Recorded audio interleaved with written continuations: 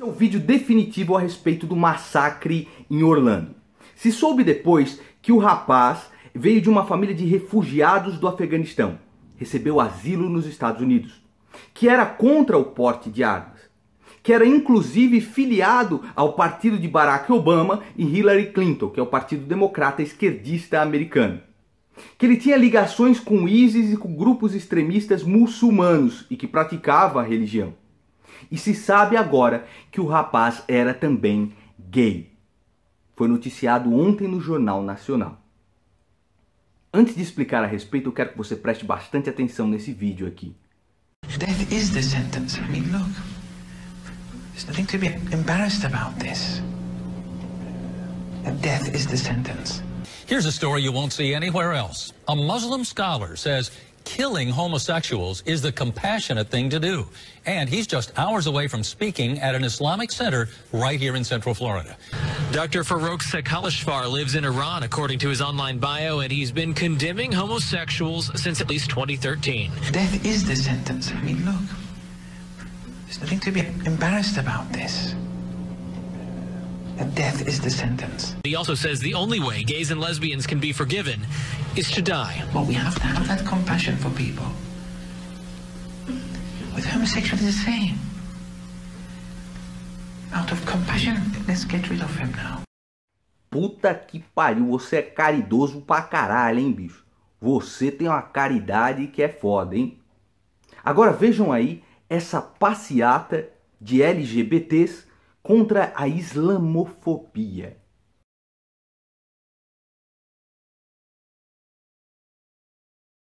E agora se descobre que o rapaz era também gay. Ele frequentava a casa, usava aplicativos de namoro e encontros gays, conforme noticiado ontem pelo Jornal Nacional e os links que eu vou colocar aqui na descrição. Isso dá um bug na cabeça da esquerda gigantesco. Porque o cara era islâmico, era gay e era filiado ao Partido Democrata, que é a esquerda americana. Mas ainda assim, os culpados somos nós.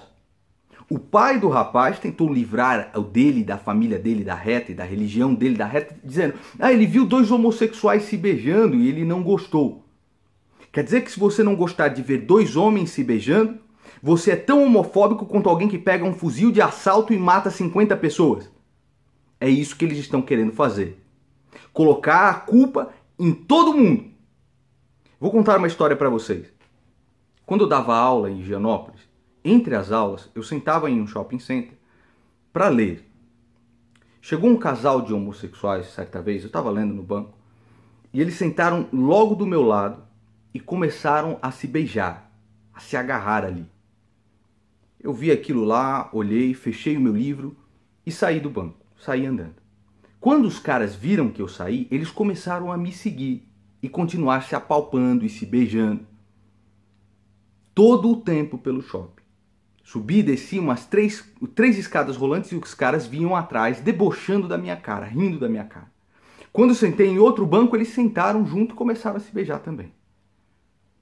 Eu só consegui me livrar quando chegou no horário da minha aula, porque os caras não paravam de me seguir no shopping inteiro, se beijando, rindo da minha cara porque eu achei ruim. Agora, você é o homofóbico. Você que diz que acredita na sua religião, você é o homofóbico. Os cristãos são os homofóbicos.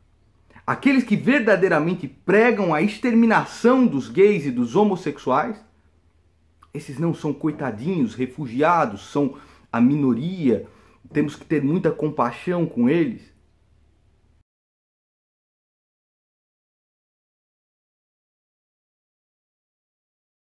divulgaram também uma estatística de quantos gays morrem no Brasil por ano. Foram cerca de 300 assassinatos. De 70 mil homicídios que nós temos no nosso país todos os anos. O Danilo Gentili, inclusive, fez uma brincadeira. Como o meu curso só por precaução, porque eu prefiro estar nas estatísticas dos 300 do que na dos 70 mil. E aí foram averiguar esses números para ver se ocorreram mesmo crimes de homofobia. Não, era assalto, é, briga de trânsito, discussões em bar, exatamente como nos heterossexuais. Mas existe verdadeiramente uma milícia disposta a exterminar homossexuais no Brasil? Foram averiguar novamente os números e viram que esses assassinatos ocorreram em crimes passionais. Do cara que vai lá, se relaciona com outro gay, sente ciúmes e mata o namorado. Ou o cara se começa a relacionar com uma mulher e não gosta porque perdeu o parceiro, vai lá e mata. Ou sai com um travesti, fica revoltado e mata o travesti. O crime que aconteceu na boate gay em Orlando foi de um homossexual que sentia raiva de si mesmo e externou essa raiva doentia em outras pessoas.